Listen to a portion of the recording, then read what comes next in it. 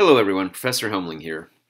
So, when thinking about discourse, there are two elements of academic discourse and writing and reading that we can think of as, as being at work uh, almost all the time when we're when we're engaged in academic discourse. And one of those is analysis, and I always say that analytical thinking is the bedrock of academic thinking, academic writing, academic reading, and so academic discourse. You know, uh, thinking analytically, where we're taking things apart, figuring out how they work, that's really central to what academia is all about. Another important element is rhetoric. And rhetoric is the art of persuasion, the art of communicating your ideas and trying to convince other people that your ideas are valid, are right. Um, so obviously, rhetoric is a big part of argument and argumentation. But we see these two elements at work in a lot of academic discourse. And uh, what we're going to look at today is a piece, it's a historical text, and it's one that I always describe as a introductory course to rhetoric in and of itself. It's got so many good techniques, so many good moves going on in the text that it's a really good primer, a really good introduction to rhetoric and how it works in historical texts, but also how it can work in texts that we're going to write in this course. So the document I'm talking about, as you can see here from this sample page from the syllabus, is Patrick Henry's speech to the Virginia Convention. And this is a historical text written during the American Revolution. It's arguably the most famous uh, speech from the American Revolution. Uh, it's often um, taught in basic courses on uh, this this period in history, along with things like um, uh, Paine's Common Sense, the Declaration of Independence, right down there, um, and the Constitution itself. So, and one of the great things about it is that it's easy to study because it's actually really short. Um, and so Patrick Henry packs in a lot of rhetorical power, a lot of rhetorical techniques in a very short speech.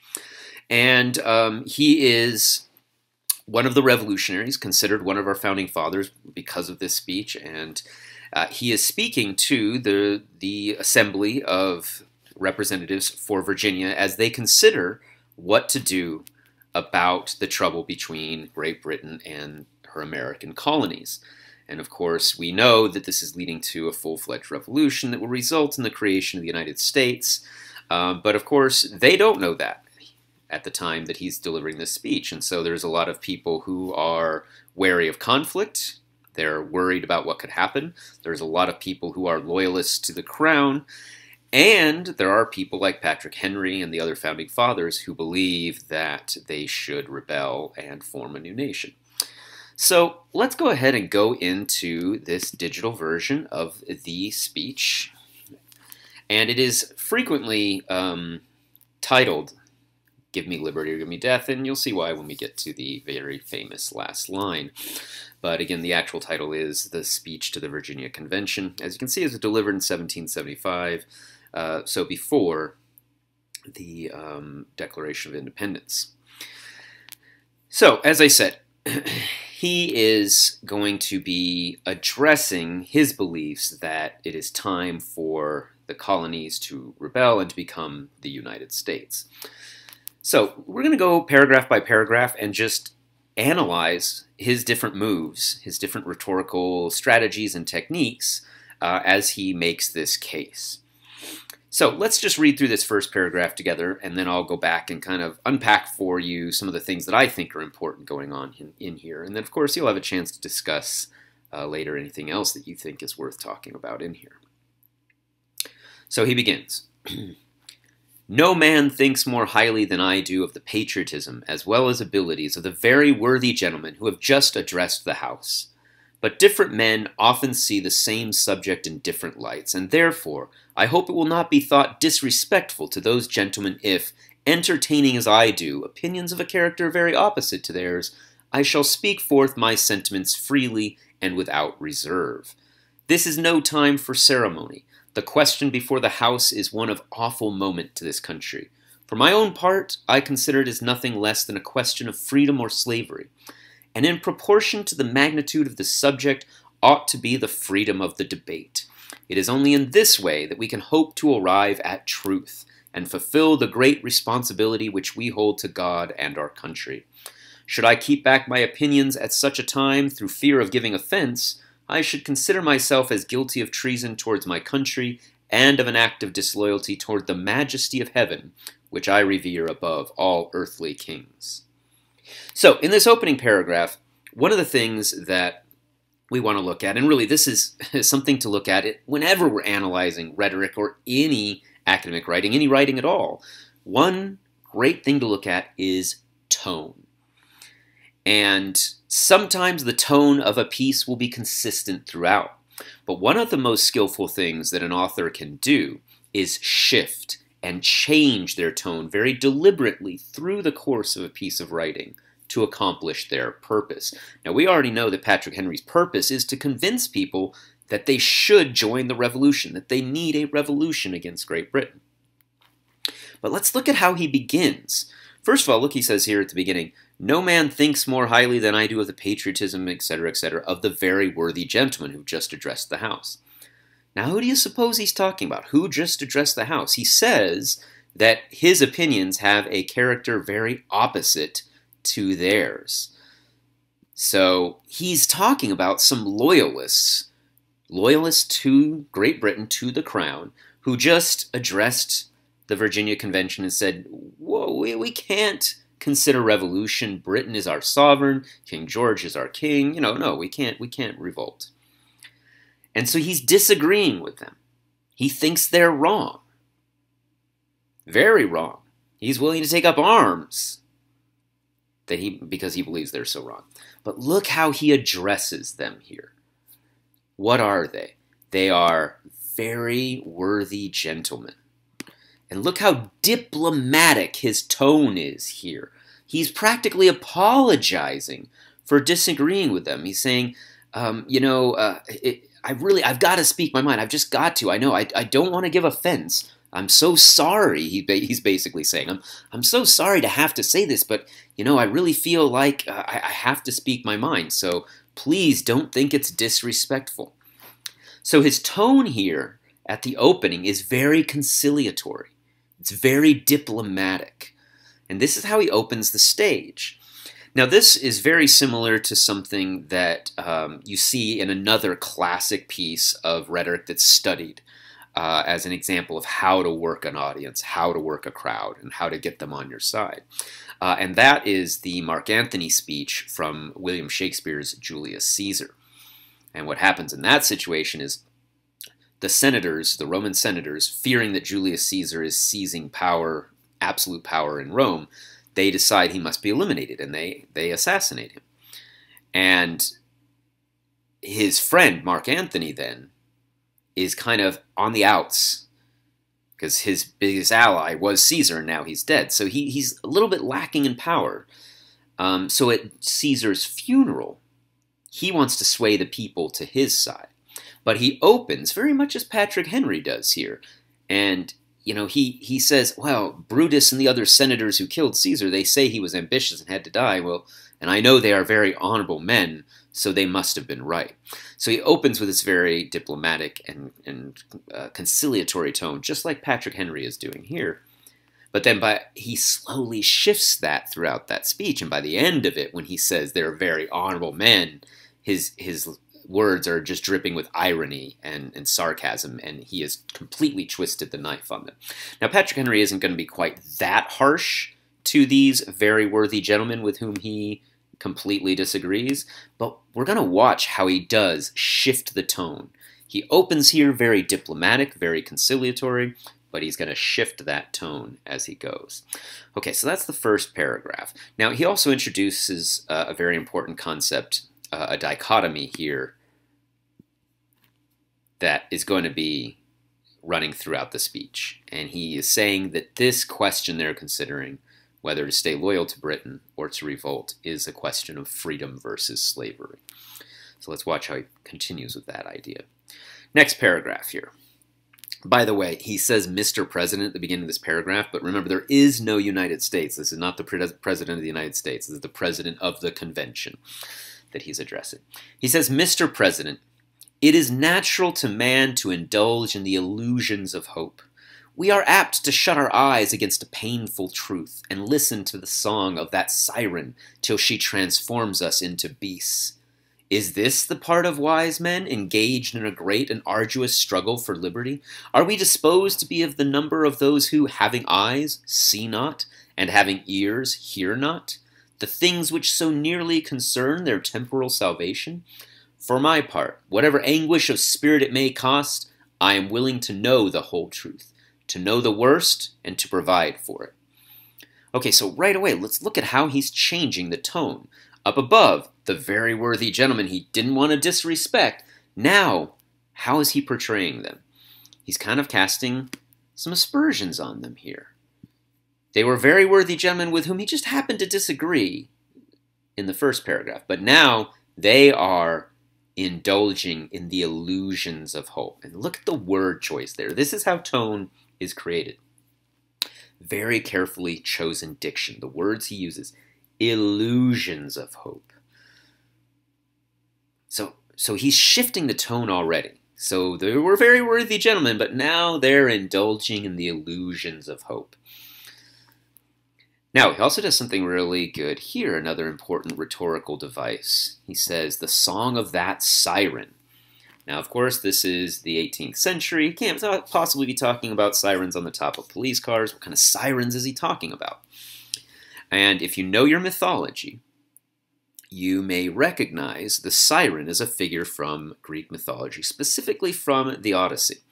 And in the Odyssey, the sirens were monsters who sang this beautiful song, so beautiful that sailors couldn't resist it, could not resist it, and they sailed their ships right into the rocks to be close to it, and that's where the sirens got to eat them up.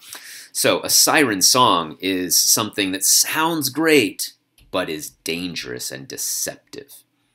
Okay, so he's saying that this hope that the very worthy gentlemen are hanging on to is a siren song. It is dangerous.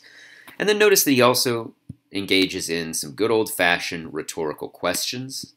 he's saying, is, you know, what is it that really matters to us? Does liberty really matter to us? If it does, then we need to be wiser than to listen to these illusions of hope.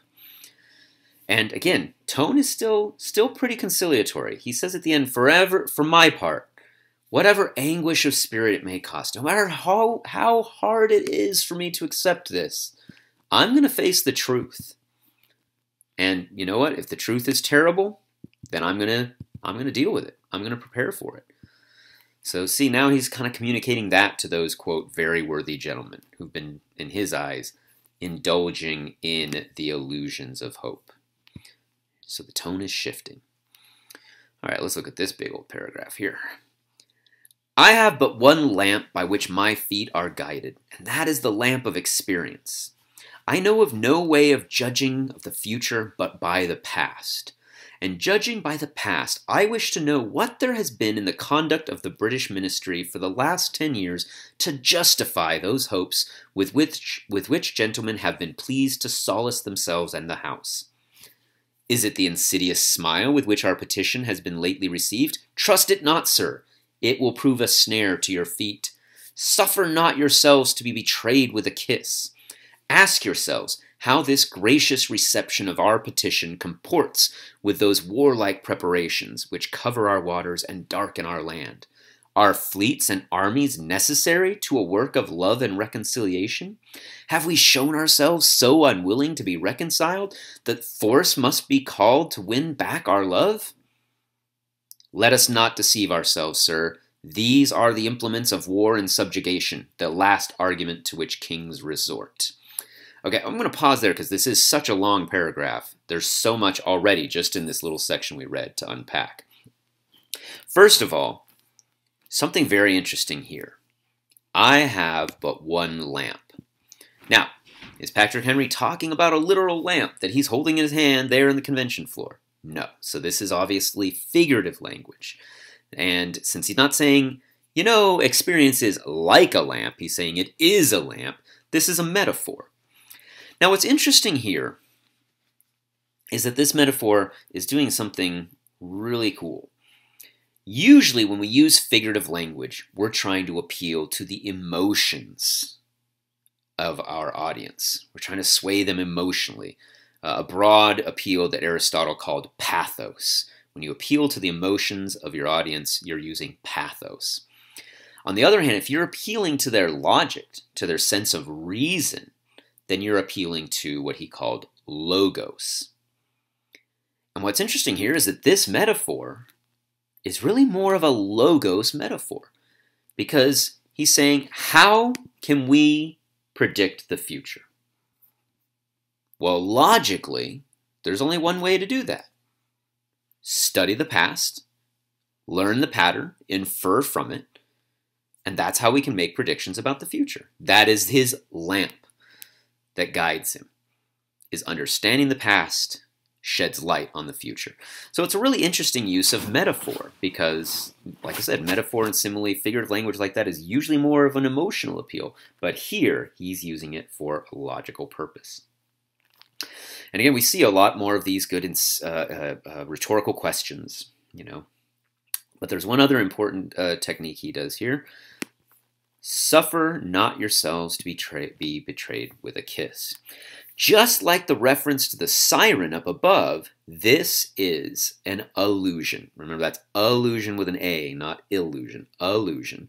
And an allusion, remember, is a reference that you have to have some background knowledge to get. Now, with the siren, there was that one word cluing us in. It's like, siren, what's the siren? And if you didn't know what the siren was, you you might have to go look it up. This allusion is a little bit more subtle. Suffer not yourselves to be betrayed with a kiss. What, what is he talking about? We're talking about a revolution against Britain, and you're talking about kissing all of a sudden. What? So, if you know your New Testament, then you will recognize that this is an allusion to the Bible. And when Judas betrays Jesus in the New Testament, he identifies him to the Romans who are going to imprison him with a kiss. He walks up to him and says, greets his rabbi and kisses him on the cheek. And that is where this idea of being betrayed by a kiss comes from. And so this is an allusion to Judas in the New Testament. Now look what he's done here.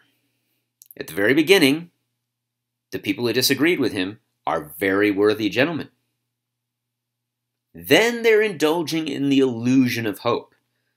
Now they're letting themselves be betrayed by a kiss. And so this also casts Great Britain as Judas, as the great betrayer. And so he's saying to the loyalists, You're going along with Judas. So a lot of good, good rhetorical moves he's making here.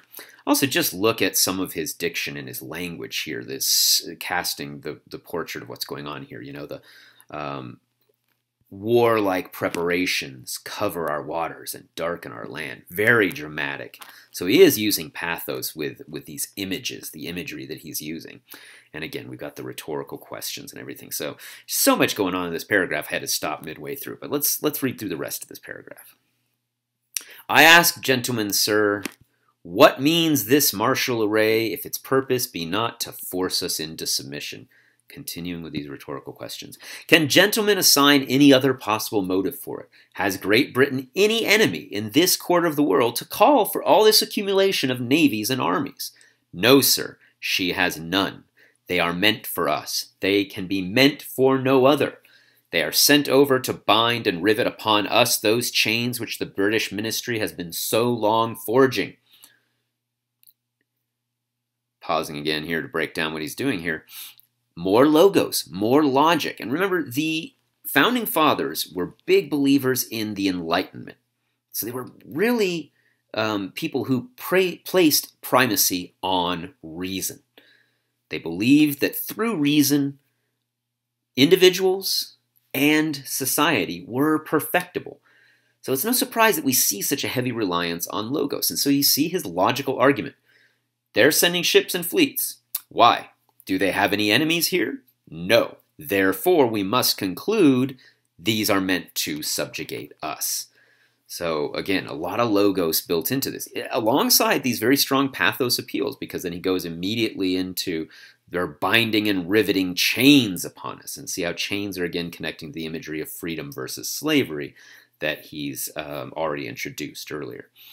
And so now he's going to continue with the logic and he's going to say, okay, what what's happened in the past? We're going to look at what that lamp shows us and what can we conclude from it. What have we to oppose them? Shall we try argument? Sir, we have been trying that for the last ten years. Have we anything new to offer upon the subject? Nothing. We have held the subject up in every light of which it is capable, but it has been all in vain. Shall we resort to entreaty and humble supplication? What terms shall we find which have not already been exhausted? Let us not, I beseech you, sir, deceive ourselves. Sir, we have done everything that could be done to avert the storm which is now coming on. We have petitioned, we have remonstrated, we have supplicated, we have prostrated ourselves before the throne, and have implored its interposition to arrest the tyrannical hands of the ministry and parliament. Our petitions have been slighted. Our remonstrances have produced additional violence and assault. Our supplications have been disregarded, and we have been spurned with contempt from the foot of the throne. In vain, after all these things, may we indulge in the fond hope of peace and reconciliation. There is no longer any room for hope. If we wish to be free, if we mean to preserve inviolate those inestimable privileges for which we have been so long contending, if we mean not basely to abandon the noble struggle in which we have been so long engaged, in which we have pledged ourselves never to abandon until the glorious object of our contest shall be obtained, we must fight. I repeat it, sir, we must fight. An appeal to arms and to the God of hosts is all that is left to us. Look at the tone shift there from hey at the very beginning he's like hey guys i don't mean to offend anyone but i just think maybe we should think about this. That's his tone in the beginning. Now he's all we must fight. Big tone shift that he's executed to this point. Look at some of the other moves here starting up here. This is what we call parallel structure. So all of these clauses through here have the same basic structure. We have this we have this we have this we have this. Okay, and then he continues the parallel structure with what's happened because of that. Our this have been this. Our petitions have been slighted. Our remonstrances have been have produced. Our supplications have been disregarded. Okay, so see how he's got this parallel structure. Parallelism is used in a lot of rhetoric, and it kind of builds energy for a moment like this in a speech, where it's like, we're piling on evidence. You're piling on the thinking to try to make your case seem the most reasonable. So parallel structure there is an important rhetorical technique to look at. All right, so let's look at the next paragraph.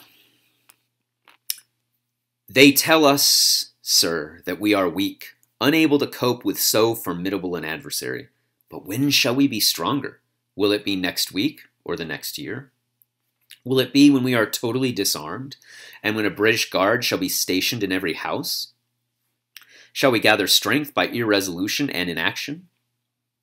Shall we acquire the means of effectual resistance by lying supinely on our backs and hugging the delusive phantom of hope until our enemies shall have bound us hand and foot? Sir, we are not weak if we make a proper use of those means which the God of nature hath placed in our power the millions of people armed in the holy cause of liberty, and in such a country as that which we possess, are invincible by any force which our enemy can send against us. Besides, sir, we shall not fight our battles alone. There is a just God who presides over the destinies of nations, and who will raise up friends to fight our battles for us. The battle, sir, is not to the strong alone, it is to the vigilant, the active, the brave. Besides, sir, we have no election. If we were base enough to desire it, it is now too late to retire from the contest. There is no retreat but in submission and slavery. Our chains are forged, our, their clanking may be heard on the plains of Boston. The war is inevitable, and let it come. I repeat it, sir, let it come. Okay, so we've talked already about the tone through here, the shifting tone. You know, up above we had the noble struggle, the glorious object.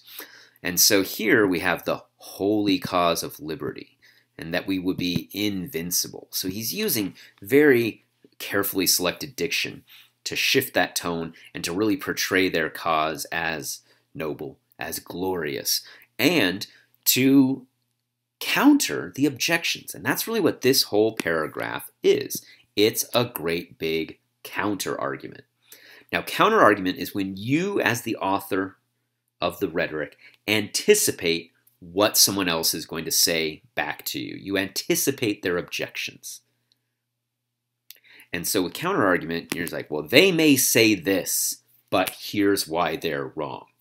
And here that's exactly how it starts. They tell us that we are weak.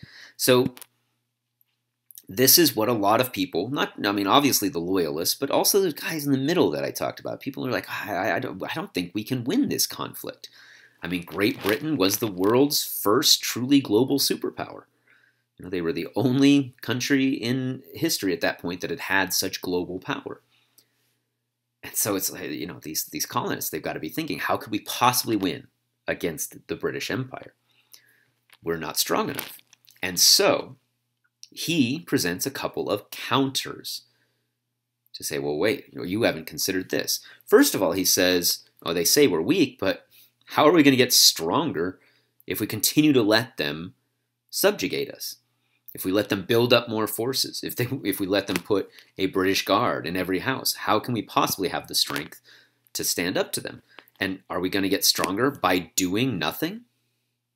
So he's saying we can't just lie supinely on our backs. We have to stand up for ourselves. Whether we're strong enough or not doesn't matter. We're only going to get weaker if we let them. But he doesn't rest there. He turns around and says, and you know what? We're not actually weak. Okay? We're not actually weak. What have we got? We've got millions of people in the colonies. We've got uh, a knowledge of the country. We know the train this in the country that we possess. But he also makes a, a, a, an oblique reference here. He says, besides, we won't fight alone. Friends will be raised up for us. And of course, anybody who knows the history of the American Revolution knows that we, the United States only prevailed, the colonies only prevailed uh, because of help from Great Britain's enemy, the French. Um, so he's kind of wink, wink, nod, nudge, nudge, nudging that too. So he's like, hey, remember, guys, Great Britain, though they are powerful, is not unopposed, and their enemies will stand with us because they'll want to see them weakened. All right, so as you can see, a lot of masterful stuff going on in here with his rhetorical techniques. We've seen metaphors, we've seen allusions, we've seen lots of rhetorical questions, parallel structure, skillful use of tone. Now we have this counter argument. And it's almost over. I told you this was real short. This is the end right here. It is in vain, sir, to extenuate the matter. Gentlemen may cry, peace, peace, but there is no peace. The war is actually begun.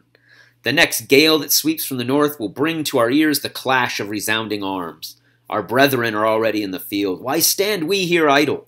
What is it that gentlemen wish? What would they have? Is life so dear, or peace so sweet, to be purchased at the price of chains and slavery? Forbid it, Almighty God. I know not what other course others may take, but as for me, give me liberty or give me death. Of course, that's the famous closing line, but in that famous closing line, we have one more rhetorical technique antithesis. Antithesis is when you set up as you know the engineer of this rhetoric, you set up a, a dichotomous choice like that, and we we've seen him do this before, the freedom slavery, um, where it's this or that, and you're putting them in stark contrast for your audience and saying, which of these do you really want? So antithesis, and that's spelled just like antithesis, but it's not exactly related to thesis like in your thesis essays, or your thesis statements in your essays. So that is Patrick Henry's speech to the Virginia, Virginia Convention, which, as I said before, I consider a brief introductory course to the art of rhetoric in and of itself. There's so many good techniques here. Um, and I didn't necessarily point out everything that's great in here, so we can discuss more uh, in the future about what else do you see him doing here. But those are some of the big moves that I want to make sure you were aware of in this piece.